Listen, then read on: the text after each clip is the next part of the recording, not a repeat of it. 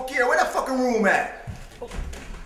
Yeah, we get great sunlight here during the day. I bought those blinds at Crate and Barrel. Well, you should have got them shits at Target, man. Them motherfuckers on sale all the time. Oh, yeah, I know. I'm just, I'm so brand conscious.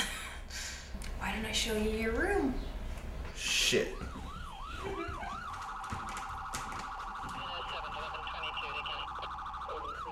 Ta-da! Yo, this shit soundproof?